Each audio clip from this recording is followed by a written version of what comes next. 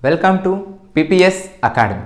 మనం లాస్ట్ వీడియోలో కేంద్ర ప్రభుత్వం గురించి ఎలా నేర్చుకోవాలి కేంద్ర ప్రభుత్వాన్ని ఏ విధంగా సార్ట్వైజ్గా డివైడ్ చేసుకొని చదువుకోవాలి అనేది మనం చేసాం అదేవిధంగా రాష్ట్రపతి యొక్క ఆర్టికల్స్ అనేవి ఏ యొక్క విధంగా క్వశ్చన్స్ అడుగుతాడు అనే విషయాన్ని మనం చూసాం మనం వీడియోలో రాష్ట్రపతికి సంబంధించి మనం ఈ వీడియోలో రాష్ట్రపతికి సంబంధించి అధికారాల గురించి మాట్లాడుతున్నాం. పవర్స్ ఆఫ్ ద ప్రెసిడెంట్ రాష్ట్రపతి యొక్క అధికారాలు.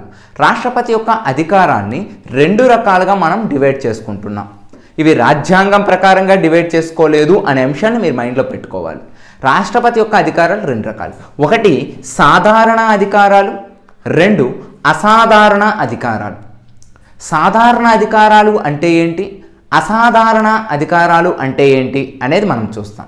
సాధారణ అధికారాలు అంటే రాష్ట్రపతి యొక్క కార్యనిర్వాహక అధికారాలు రాష్ట్రపతి యొక్క శాసన అధికారాలు రాష్ట్రపతి యొక్క ఆర్థిక అధికారాలు రాష్ట్రపతి యొక్క న్యాయ అధికారాలు రాష్ట్రపతి యొక్క దౌత్య అధికారాలు రాష్ట్రపతి యొక్క మిలిటరీ ఆర్ సైనిక అధికారాలు అని అనడం అనేది జరుగుతుంది. Executive powers legislative powers economical powers judicial powers diplomatic powers military powers అని సాధారణ అధికారాల్లో మనం చూస్తాం. అసాధారణ అధికారాల్లో మనం అత్యవసర పరిస్థితుల గురించి మాట్లాడుకోవడం జరుగుతుంది. ఏంటి ఆ అత్యవసర పరిస్థితులు అంటే ఒకటి జాతీయ అత్యవసర పరిస్థితి నేషనల్ ఎమర్జెన్సీ అని అనమాట త్రీ ఫిఫ్టీ టూ ఆర్టికల్ ప్రకారంగా.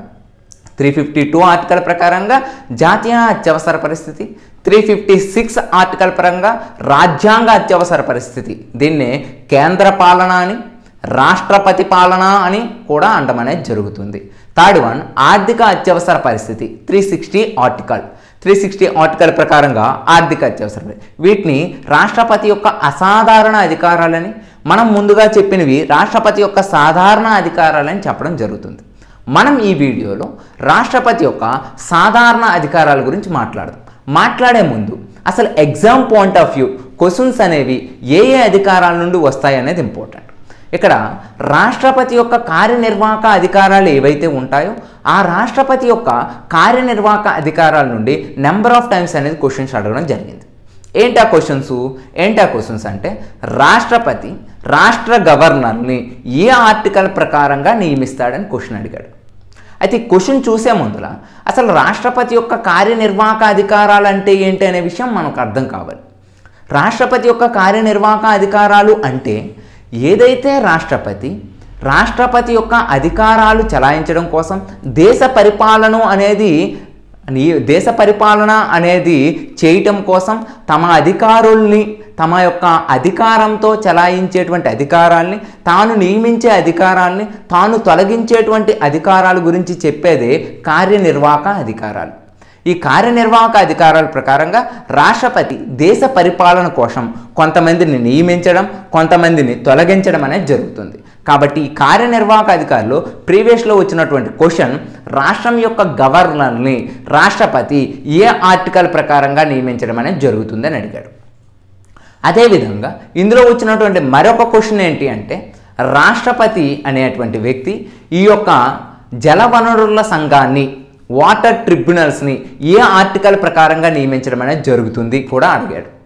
అదే విధంగా చూసుకున్నట్లయితే అలా నెంబర్ ఆఫ్ ప్రకారంగా చూసుకున్నట్లయితే ఆర్టికల్స్ని బేస్ చేసుకొని ఇక్కడ మనకి క్వశ్చన్స్ అనేది ఇవ్వడం జరుగుతుంది.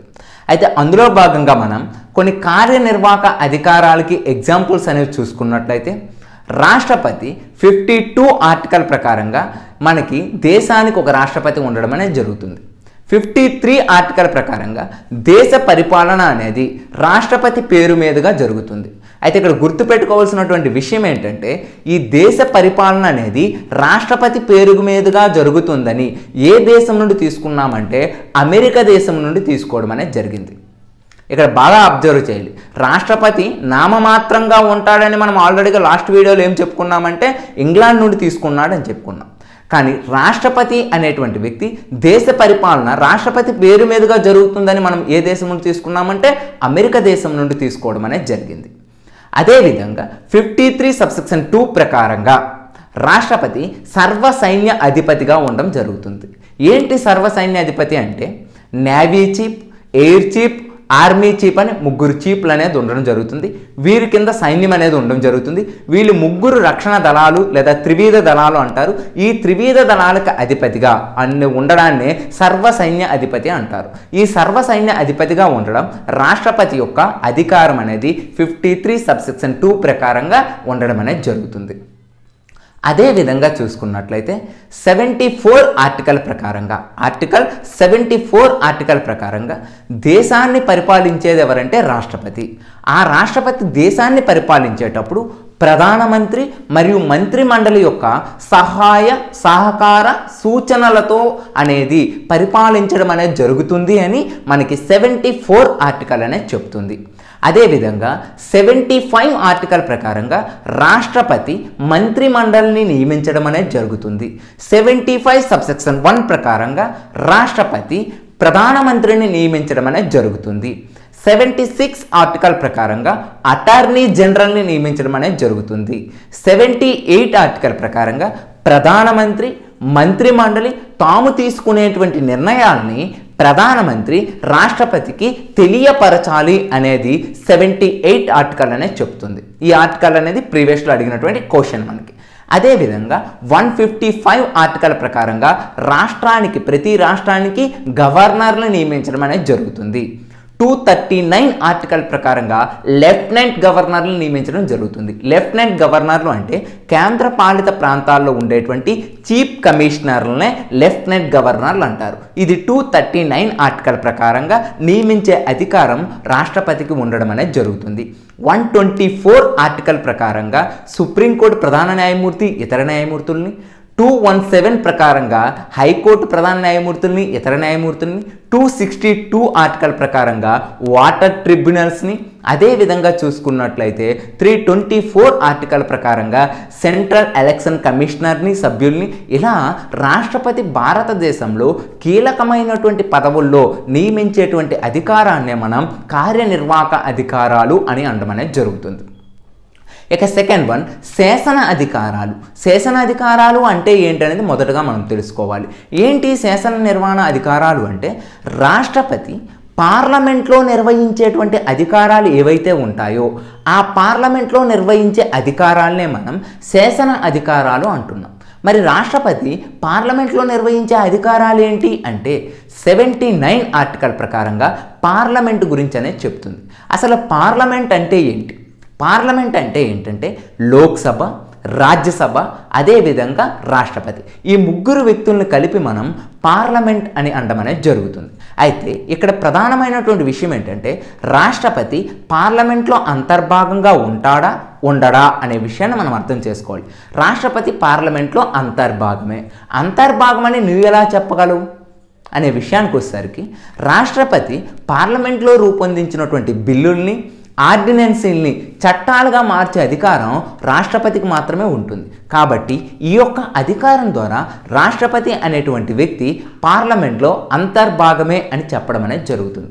అదేవిధంగా ఎయిటీ సబ్సెక్షన్ త్రీ ప్రకారంగా ఎయిటీ సబ్సెక్షన్ త్రీ ప్రకారంగా రాష్ట్రపతి పన్నెండు మంది రాజ్యసభ సభ్యుల్ని పార్లమెంట్కి నామినేట్ చేయడం అనేది జరుగుతుంది. అదేవిధంగా త్రీ థర్టీ వన్ ఆర్టికల్ ప్రకారంగా రాష్ట్రపతి లోక్సభకి ఇద్దరు ఆంగ్లో ఇండియన్స్ని నియమించడం అనేది జరుగుతుంది. అదేవిధంగా eighty five article eighty five article ప్రకారంగా రాష్ట్రపతి అనేటువంటి వ్యక్తి సమావేశాలని ఏర్పాటు చేయడం కానీ పార్లమెంటు సమావేశాన్ని రద్దు చేయడం కానీ పార్లమెంటు సమావేశాన్ని ప్రోరోగ్ చేయడం ప్రోరోగ్ చేయడం అంటే దీర్ఘకాలికంగా వాయిదా వేయడం కానీ అధికారాన్ని ఎయిటీ ఫైవ్ ఆర్టికల్ ప్రకారంగా కలిగి ఉండడం అనేది జరుగుతుంది. ఎయిటీ సిక్స్ ఆర్టికల్ ప్రకారంగా మెసేజెస్ అనేది పంపించేటువంటి అధికారం రాష్ట్రపతి కలిగి ఉంటాడు. ఎవరికి మెసేజెస్ పంపిస్తారు? లోక్సభకు కానీ రాజ్యసభకు కానీ లేదా ఉమ్మడిగా ఉండేటువంటి సభలకు కానీ ఈ మెసేజెస్ అనేవి సందేశాలు అనేది పంపించడం జరుగుతుంది. ఏ ఆర్టికల్ ప్రకారంగా? ఎయిటీ సిక్స్ ఆర్టికల్ ప్రకారంగా. అదే విధంగా చూసుకున్నట్లయితే రాష్ట్రపతి ప్రత్యేక ప్రసంగాలు అనేది ఎయిటీ సెవెన్ ఆర్టికల్ ప్రకారంగా చేస్తాడు. మరి ఇటువంటి సందర్భంలో ప్రత్యేక ప్రసంగాలు అనేవి చేయవలసి వస్తుందంటే బడ్జెట్ స్టార్ట్ చేసే ముందు కొత్తగా లోక్సభ అనేది ఫామ్ అయ్యే ముందు ఈ యొక్క ప్రత్యేక సమావేశాన్ని ఏర్పాటు చేయడం అనేది జరుగుతుంది. అదేవిధంగా రాష్ట్రపతి వన్ ట్వంటీ త్రీ ఆర్టికల్ ప్రకారంగా ఆర్డినెన్సీ గురించి చెప్పడం జరుగుతుంది. అంటే ఆర్డినెన్సీ జారీ చేసే అధికారం రాష్ట్రపతికి ఉంటుంది. దీని గురించి చాలా క్లియర్గా మనం క్లాస్లో అనేది మాట్లాడడం అనేది జరుగుతుంది. ఆ విధంగా మనకి రాష్ట్రపతికి సంబంధించినటువంటి ఇటువంటి అధికారాలనే శాసన అధికారాలుగా మనం చెప్పడం అనేది జరుగుతుంది. ఇక ఆర్థిక అధికారాలు అనేవి చూసుకున్నట్లయితే రాష్ట్రపతి యొక్క ఎకనామికల్ పవర్స్ అనేవి ఉంటాయి. టూ సిక్స్టీ సెవెన్ ఆర్టికల్ ప్రకారంగా అగంతుక నిధిని ఏర్పాటు చేయడం. అదేవిధంగా చూసుకున్నట్లయితే వన్ టెన్ వన్ ట్వెల్వ్ ప్రకారంగా వన్ టెన్ ప్రకారంగా అదేవిధంగా వన్ వన్ వన్ సెవెన్ ప్రకారంగా ద్రవ్య ఆర్థిక బిల్లులను ప్రవేశపెట్టేటప్పుడు రాష్ట్రపతి అనుమతితో ప్రవేశపెట్టడం. బడ్జెట్ను ప్రవేశపెట్టేటప్పుడు రాష్ట్రపతి అనుమతితో ప్రవేశపెట్టడం. ఇలా రాష్ట్రపతికి సంబంధించినటువంటి ఒక ఆర్థిక సంఘం అనేది రాష్ట్రపతి ఏర్పాటు చేసే అధికారం. ఇవన్నీ రాష్ట్రపతి యొక్క ఆర్థిక అధికారాల గురించి చెప్పడం అనేది జరుగుతుంది. ఇక న్యాయాధికారాలు. న్యాయాధికారాలు న్యాయ అంటే ఉన్నత న్యాయస్థానాలు ఇచ్చేటువంటి శిక్షల గురించి మనకి చెప్పడం అనేది జరుగుతుంది. ఆల్రెడీ మనం ఉన్నత న్యాయస్థానాలు ఇచ్చేటువంటి శిక్షను చూసుకున్నట్లయితే పార్డన్ అని కమ్యూటేషన్ అని రెమిషన్ అని అదేవిధంగా రెస్ప్రైట్ అని రెఫ్రైవ్ అని ఇలా ఐదు అధికారాలు అనేవి న్యాయ అధికారాలు ఉంటాయి. రాష్ట్రపతి యొక్క న్యాయ అధికారాల గురించి చెప్పే ఆర్టికల్ సెవెంటీ టూ ఆర్టికల్. ఇలా మనకి దౌత్యాధికారాలని అదేవిధంగా చూసుకున్నట్లయితే మనకి ఈ యొక్క సైనిక అధికారాలని ఇలా రాష్ట్రపతి అధికారాల నుండి compulsory exam point of view one bit అడగడం జరుగుతుంది. ఈ విధంగా రాష్ట్రపతి అధికారాలను మనం చదివినట్లయితే exam point of view answer చేయడం అనేది జరుగుతుంది. ఇంకా మనకి ఈ యొక్క క్లాసెస్ అనేవి జూలై ఫస్ట్ నుండి స్టార్ట్ అవుతున్నాయి ఫుల్ ప్లెజర్గా. ఎలా స్టార్ట్ అయ్యేటప్పుడు ఫుల్ ప్లెజర్గా మీకు అందించడం అనేది జరుగుతుంది. Thank you. Thank you for watching this video.